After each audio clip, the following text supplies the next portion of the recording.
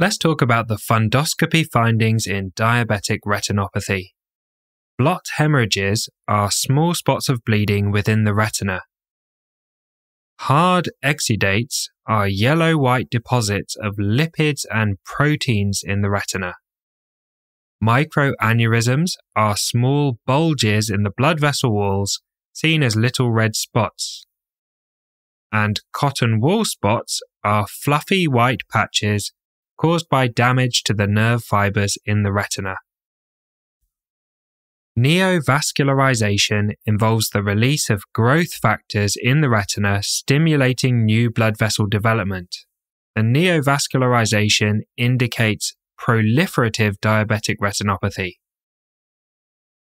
Panretinal photocoagulation is a treatment for proliferative diabetic retinopathy used to suppress new vessel development.